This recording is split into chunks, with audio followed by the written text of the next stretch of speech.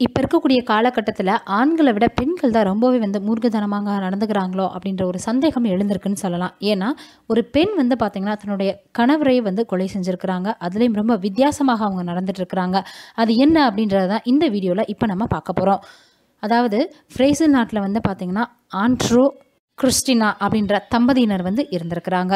இவங்களுக்கு சின்ன சின்ன விஷயங்களில் கூட அதிகமான சண்டைகள் வர்றதாக தான் அக்கம் பக்கத்தினர் சொல்கிறாங்க இப்படி இருக்கக்கூடிய சூழ்நிலையில் தன்னுடைய கணவரை வந்து கொலை செஞ்சுருக்கிறாங்க. ஜூன் ஏழாம் தேதி வந்து பார்த்திங்கன்னா திடீர்னு அந்த வீட்டில் இருந்து மிகப்பெரிய அலறல் சத்தம் கேட்டிருக்கு. உடனே வந்து பார்த்திங்கன்னா பக்கத்தில் இருக்க எல்லோருமே சொல்லவும் இதை அறிஞ்சிட்டு காவல்துறையினர் அங்கே விரைந்து வந்திருக்கிறாங்க.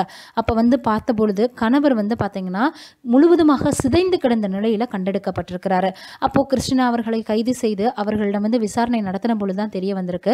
அவங்களுடைய கணவரின் பிறப்புறுப்பை அறுத்து அவங்க என்ன பண்ணியிருக்கிறாங்கன்னா எண்ணெயில் வறுத்துருக்குறாங்க.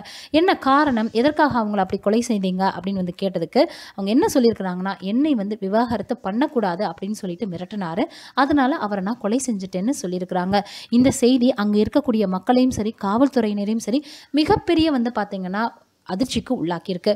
கேட்கக்கூடிய நம்மளுக்கே அந்த மனிதன் எவ்வளவு கஷ்டப்பட்டிருப்பாரு எவ்வளவு வந்து ரொம்பவும் காயங்களை அனுபவிச்சிருப்பாரு அப்படின்றத நம்மளால் புரிஞ்சுக்க முடியுது. என்ன இருந்தாலும் தன்னுடைய கணவர் இவ்வளவு நாட்களாக நம்ம அவர் கூட வாழ்ந்திருந்தோமே அப்படின்ற ஒரு எண்ணம் கூடயா வரலை அப்படின்னு தான் வந்து யோசிக்க தோணுது. ஏன்னா ஒரு உயிர் வந்து நம்ம வந்து போக வைக்கிறது அப்படின்றது வந்து ரொம்ப சாதாரண விஷயம் கிடையாது. நம்மளுடைய மனது அவ்வளவு கல்லாக மாறிடுச்சு அப்படின்னு தான் சொல்லி ஆகணும். ஆக மொத்தத்தில் அந்த பெண்ணிற்கு இப்போ வந்து பார்த்திங்கன்னா சரியான தண்டனை வழங்குறதுக்காக இப்போ அவங்க காவல்துறையினரிடம் வந்து இருக்கிறாங்க. இப்படியெல்லாம் கூட பெண்கள் இருப்பாங்களா அப்படின்னு யோசிக்க தோணுது. நம்மளுடைய சேனலை ஃபஸ்ட் டைம் பார்க்குறவங்களா இருந்தால் சப்ஸ்கிரைப் பண்ணிக்கோங்க. அப்படியே கீழே இருக்கக்கூடிய பெல்லைக்கான் சிம்பிளை கிளிக் பண்ணி மறக்காமல் நோட்டிஃபிகேஷன் எனேபிள் பண்ணிக்கோங்க.